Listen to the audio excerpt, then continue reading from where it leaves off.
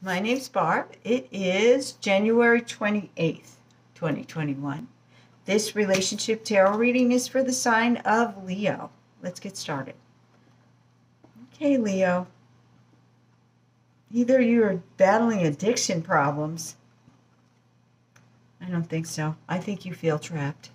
I think you are very nostalgic about the way things were and you feel trapped. And even though you want to um, walk the straight and narrow, it's really very hard at this point. Your person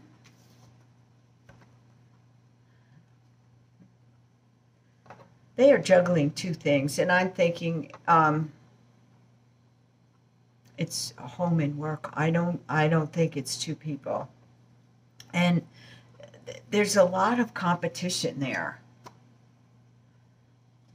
But they feel like they are in the driver's seat and they are going forward, even though there's competition and, and she has they have things to contend with. Advice. Okay.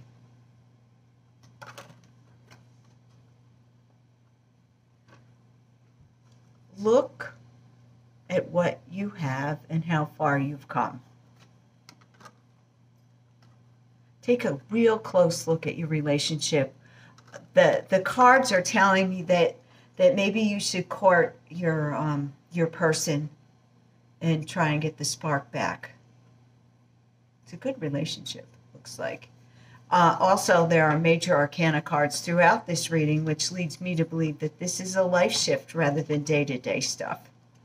So, um, I hope that's helpful. Like it, comment, and subscribe if you are so inclined. We'll do it again next week. Thanks.